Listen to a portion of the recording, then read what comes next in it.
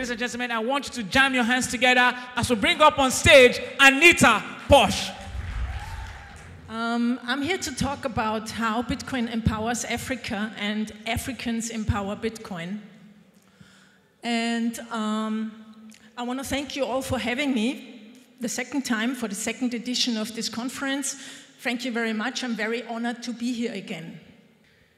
So I have spent the last, in the last three years, I've spent a lot of time, over 12 months, in different African countries like in Zimbabwe, Zambia, South Africa, here in Ghana, of course, to learn about the situation on the ground. Because when I started with Bitcoin, I heard a lot about how Bitcoin solves the problem of hyperinflation for people who live in countries with a lot of inflation.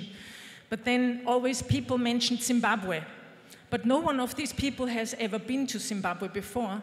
And I thought, I want to go there. I want to learn from the people on the ground and support them in any way I'm able to do that. And so in February 2020, I came the first time to Zambia and I also visited Botswana, the Satoshi Center, uh, to learn about how Alakanani Itireleng, for instance, was doing her work there. And um, last year, in 2022, I came back and visited Bitcoin Ekasi in South Africa um, and was here doing a meetup with uh, the Bitcoin Cowries, for instance. And I really have to say, I learned a lot uh, from you all. And I want to speak about how I believe that Bitcoin empowers Africa. Now, I would like to show you a map of uh, the Democracy Index, which shows us that 55% um, of the global population have to live in authoritarian ruled countries. And a lot of these countries are sadly in Africa. And at the same time, the wealth map shows us that also the countries with the people with the least wealth are also mostly in Africa. And this is not a coincidence, I believe, um, because in authoritarian led countries, very often the situation is that, that people have to hassle all the time. Infrastructure is broken, and so you actually don't have the energy or the power to build resistance. And I think this is a, a tool, basically. And also, um, with high inflation, like for instance in Ghana, it's 30 to 40% a year, you can't really, thank you,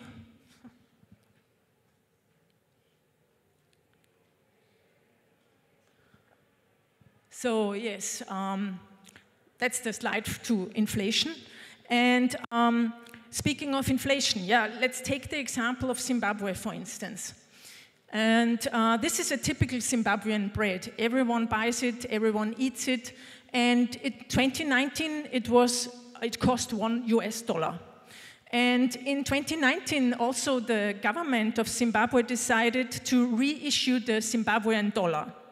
And what they did was they forcibly exchanged all US dollar accounts of Zimbabweans in Zimbabwe to Zimbabwe dollar accounts. And they told people, don't worry, the value will stay the same. Uh, the exchange rate will not change, it will be one to one. So that was in early 2019. When I came in 2020 the first time, it was already 1 to 28, and last year it really exploded. Like in January this year, it was 850, and now it's about 1 to 4,000. So monetary inflation is inherent in the traditional financial system. And Bitcoin is an exit because there can't be any monetary inflation in Bitcoin, and no government, no central bank can uh, change the issuance of Bitcoin. And that's also a reason why many countries try to ban Bitcoin. Of course, they dislike it because it's non governmental money and they can't control it. Instead, they want you to use the CBDC, like in Nigeria, the e Naira, that they can control. But Bitcoin is, like my teacher Andreas Antonopoulos said, is a ripcord. It's a lifeline, basically, that helps you to exit the current financial system. Why is it a ripcord? It's revolutionary, it's immutable, it's public, it's collaborative, It's open, it's resistant to censorship, and it's decentralized. And I believe two of two very important uh, factors or properties are the openness. As my speaker, the first speaker said, anyone can use Bitcoin. You don't need an ID. You, you don't need a verification from your government or anything else. So it's basically financial inclusion. And the censorship resistant means that no government, no one can take away your Bitcoin or freeze your assets, which is happening very often. Bitcoin empowers human rights activists. It enforces freedom of speech and freedom of association. In such, there's when, when like uh, human rights organizations receive funds from abroad, their government can't seize these funds anymore like they can on bank accounts. Another opportunity for African countries and areas is to build out Bitcoin mining with hydropower.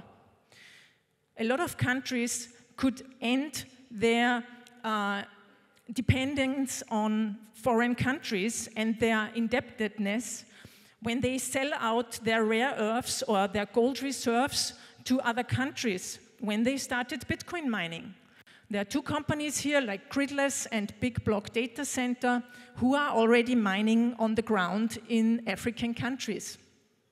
Then, interestingly enough, I mean, the banking fees in South Africa are higher than in Germany. Who would have thought that? And as you all know, I mean, banks, no one really trusts banks. You know, banks are slow, they are bureaucratic, uh, sometimes they freeze your money. I know people in Zimbabwe who are using Bitcoin and have unbanked themselves, although they could have, they had a bank account, but they didn't want to use it anymore. And they exchange Bitcoin to US dollar peer to peer whenever they need it.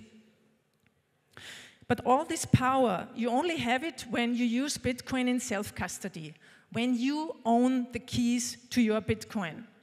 And that's why I think that education and utility, of course, are important for the adoption of Bitcoin. And also, an interesting thing is this number 28, 20 years is the median age of Africans, whereas the median age in Europe is 43. So, where do you think will a new technology that breaks power structures, is innovative and uh, new, will be used more. In these countries where young people are, it's a no-brainer for me. Of course it will, because the need is much higher. The utility for people in these countries is much higher than in the global north. So how do Africans now empower Bitcoin? Because this is not a one-way street. At the moment, that's a map of Bitrefill, the African cryptocurrency economy is small compared to the size of the continent and to the number of the population. But it's different. And it's also small, I think, because there are a lot of scams, sadly. I mean, scams are everywhere, and also you have a lot of altcoins, and people don't know the differences. And so I think it's also important to know that it's a scam when you need to buy a starter package, when you need to bring a friend or a family member, or you need to do monthly payments. And of course, no one in Bitcoin will profit, uh, promise you a profit because you can't promise anything. And there's also no need to join Bitcoin because, as I said before, it's open for anyone to use. You don't need someone to, to uh, maintain or help you with your Bitcoin. You can do it yourself. So, what I have observed in the North, Bitcoin is more used as a store of value, as a long term investment. Whereas in the global south, here in African countries, it's more like a medium of, of exchange, a tool that people use in their day to day lives.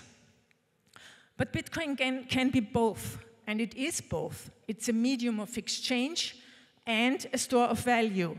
If you hold it long enough, I would say at least three to five years, it's a perfect store of value. And with new technologies like the Lightning Network or FEDI, e, the FEDI eCash system, it's also a fast and cheap and very private way uh, to, pay your to pay your daily bills. Another way how Africans contribute is the usage is mostly peer-to-peer without KYC, which is great for the rest of the world too. Because as long as here people are exchanging Bitcoin without KYC, then there will be a market for that uh, privacy protecting way to use Bitcoin. And the adoption actually has been huge. As I said before, in 2020, when I came the first time, I only knew about uh, the Satoshi Center in Botswana, and now we have these many initiatives on the African, in African countries, and I'm sure this will grow in the coming years. So now we have Bitcoin Dada in Kenya, the Bitcoin cowries, yes, the Bitcoin cowries in Ghana, Bitcoin for Fairness in Zambia, the Bitcoin Innovation Hub in Uganda, and Bitcoin Ekasi in South Africa, and many, many more. And one by one, Africans will see how Bitcoin can help them to empower themselves and to gain financial freedom. And they can even do that without the internet. There's a slide missing. That's an image of Machankura 8333 uh, a tool built by South African developer Kgothatso, and you can send Bitcoin without the internet. Yeah, you can really do that. And that you can see how innovative people are here.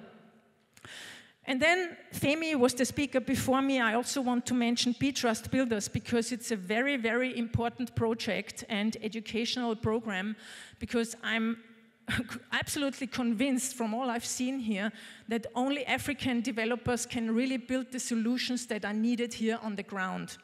And so I think all sorts of educational programs are very, very important. And with what I've been doing in the last three years, which was workshops, talks, media interviews, yeah, just trying to get the word out about, about what Bitcoin really is, these events are great to build trust on the ground to show people Bitcoin is not a scam, it's a real tool. But I believe that's not enough. At least for me, it wasn't enough. I wanted to build something that can help others on the ground to share education with their peers. And that's the reason why I started Crack the Orange, an online learning program, especially for trainers or aspiring Bitcoin educators and community builders here in African countries to help them gain knowledge, the knowledge that they might need to share their knowledge with their peers then on the ground. So I'm sure that Bitcoin adoption will skyrocket in the coming years. But Bitcoin isn't really perfect yet. We need scalable solutions to onboard the first billion of users. We need more privacy in Bitcoin to protect individuals and human rights activists from surveillance. And also, we need you. Bitcoin doesn't have a marketing department or an education department or a sales department. So each one of you could start their own program or your podcast or uh, just show your family and your friends how easy and great it is to use Bitcoin. So, and if you want to become an educator or a community builder, we are giving away, thanks to our donors, we can give away scholarships for that educational program. And you just need to apply at anita.link slash apply.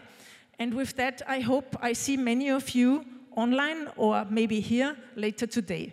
Thank you.